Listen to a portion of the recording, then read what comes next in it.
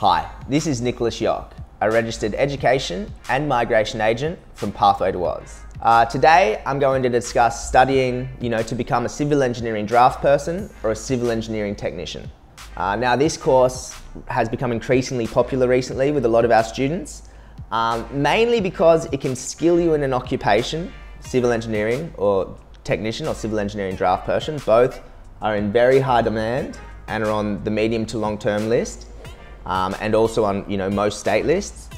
These occupations pay you know quite well. Uh, these occupations don't require you to study at a bachelor level. Uh, you can often study at a lower level than that. These occupations usually will only take about two years to study for. And if you study the right course, it may allow you to obtain graduate work visas upon completions of these courses. Uh, in addition to this, we've actually had quite a few students study this course and they find it relatively easy in comparison to a lot of other jobs to find employment, you know, in roles in Australia. It's also a really good option if you're not looking to, you know, study a trade course like carpentry or, you know, bricklaying or whatever it is. A lot less physical, a lot more white collar, a lot less blue collar. All right, so what do civil engineering draftspersons or technicians do?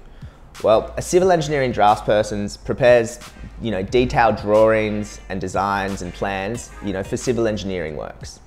Uh, a civil engineering technologist assists civil engineers in like research, design, construction, maintenance of civil engineering projects. So a civil engineering technician is a little bit more, you know, in depth than a civil engineering draft person. Um, throughout the course, you know, students would hope to gain knowledge of drafting, modelling, environmental engineering, project management, you know, and estimating skills.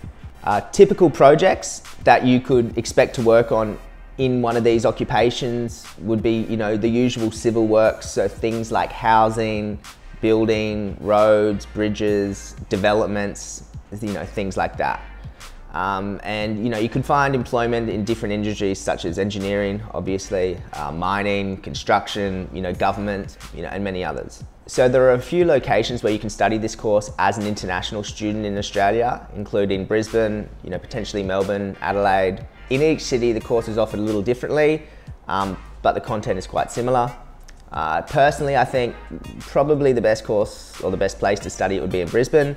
Um, so that's the one I'll give you sort of a bit of a general overview of the, what the course is like. So the course goes for two years. Uh, we'd have intakes in the end of July, no, the middle of July and the end of January. Each year is divided into two semesters. So let's say you start in January, you'd study until about mid-June. You'd then have about three weeks break. You'd then start the second semester in you know mid-July and study till about the end of November. Uh, you would then look to you know have about a couple of months holiday and start it again you know in the second year.